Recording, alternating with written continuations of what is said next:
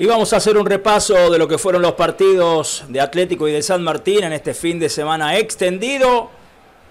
Atlético Tucumán acarició, arañó la posibilidad de ganar y lo ganaba bien con este gol de Bajanich, 1 a 0 sobre Independiente.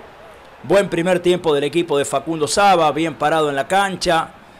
Estaba resistiendo un partido, lo tenía controlado hasta que Maestro Puch en una pierna logró cruzar ese cabezazo para que llegue el chileno Isla y ponga de cabeza el empate en el final del partido para Independiente.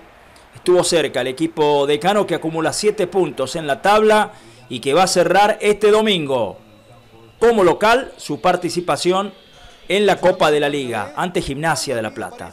Vamos a ver el partido de San Martín lunes por la noche, la llovizna en Ciudadela y el equipo santo que consigue abrir el marcador con ese cabezazo de Nahuel Vanega. Le costó muchísimo a San Martín, al equipo de Diego Flores, doblegar a Chaco Forever.